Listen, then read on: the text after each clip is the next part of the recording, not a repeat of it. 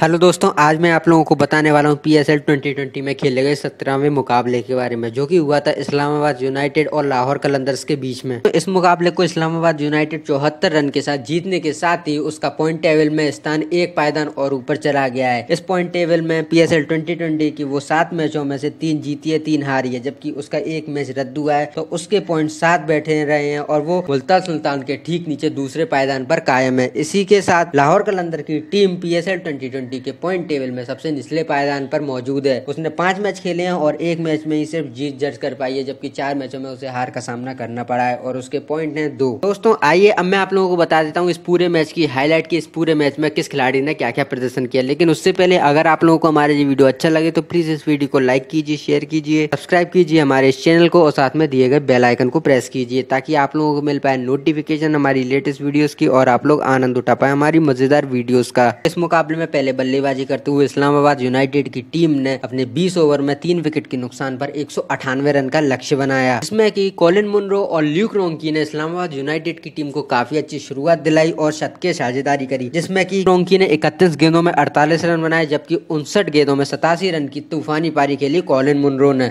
Out होने के बाद अंत में कॉलिन इनग्राम और आसिफ अली ने कुछ तेज पारी खेल के अपनी टीम को एक सौ अट्ठानवे रन के बड़े लक्ष्य तक पहुँचाया, जिसमें की आसिफ अली ने छह गेंदों में बीस रन का एक अच्छा खासा कैमियो खेला, जबकि कॉलिन इंग्राम में उन्नीस गेंदों में उनतीस रन बनाए। यही तो दोस्तों कलंदर्स की गेंदबाजी की बात की जाए तो केवल तीन गेंदबाजी विकेट लेने में कामयाब रहे, जिसमें नाम शामिल है सलमान, अरशद, मोहम्मद फैजान और मोहम्मद हफीज। मोहम्मद हफीज ने दो ओवर में ग्यारह रन देकर एक विकेट चटकाया, जबकि सलमान, इरशाद ने चार ओवर में तैतालीस रन देकर एक विकेट चटकाया। मोहम्मद फैजान ने तीन दशमलव पाँच ओवर में इकतालीस रन देकर एक विकेट चटकाया। यही दोस्तों, समित पटेल, उस्मान शेनवारी, दिलवर हुसैन और सिगुचे प्रसन्ना जैसे गेंदबाजों को खाली हाथ लौटना पड़ा। उसने लखा पीछा करने उतरी लाहौर कलंदर्स की टीम मात्र एक सौ सताइस रन पर अठारह दशमलव पाँच ओवर में ढेर हो गई। इस मुकाबले को इकहत्तर रनों से गवा दिया। और कलंदर्स की तरफ़ से ओपनिंग करने आए क्रिसलिन खाता भी नहीं खोल पाए और डील स्टेन का शिकार होकर पवेलियन वापस लौट गए। यही सलमान भट्ट ने कुछ उमदा पारी खेलने की कोशिश करी, लेकिन चौबीस गेंदों में इक्कीस रन की धीरी पारी खेलने के साथ ही उनको गोहर ने पवेलियन वापस भेज दिया। बेन डंक ने पच्चीस रन की एक पारी खेली, लेकिन वो अपनी टीम को जीत दिलाने में असफल रहे और मोहम्मद हफीज ने तेरह गेंदों में दस रन बनाए। इन गेंद, इन बल्लेबाजों के अलावा लाहौर कलंदर से कोई भी बल्लेबाज कुछ खास प्रदर्शन नहीं कर पाया और उसकी टीम को हार का सामना करना पड़ा। यही दोस्तों, आपने इस्लामाबाद यूनाइटेड के गेंदबाजों ने काफ़ी प्रशंसनीय गेंदबाजी करी तो आइए नज़र डाल लेते हैं उन गेंदबाजों के ऊपर। लिस्टिन ने चार ओवर में अठारह रन देकर एक विकेट चटकाया। रुमान रईस ने तीन दशमलव पाँच ओवर में उनतीस रन देकर तीन विकेट चटकाए, जबकि आकिफ जावेद ने तीन ओवर में अट्ठाईस रन देकर एक विकेट चटकाया शदब खान ने चार ओवर में इक्कीस रन देकर दो विकेट चटकाया ज़फ़र गौर ने चार ओवर में इकतीस रन देकर तीन विकेट चटकाए तो दोस्तों, ये थी पूरी हाईलाइट ट्वेंटी ट्वेंटी में खेले गए सत्रहवें मुकाबले की। अगर आप लोगों को हमारे जो वीडियो पसंद आए तो प्लीज़ इस वीडियो को लाइक कीजिए शेयर कीजिए सब्सक्राइब कीजिए हमारे चैनल को और साथ में दिए गए बेल आइकन को प्रेस कीजिए ताकि आप लोगों को मिल पाए नोटिफिकेशन हमारी लेटेस्ट वीडियोस की और आप लोग आनंद उठा पाए हमारी मज़ेदार वीडियोस का। दोस्तों, धन्यवाद हमारे इस वीडियो को देखने के लिए।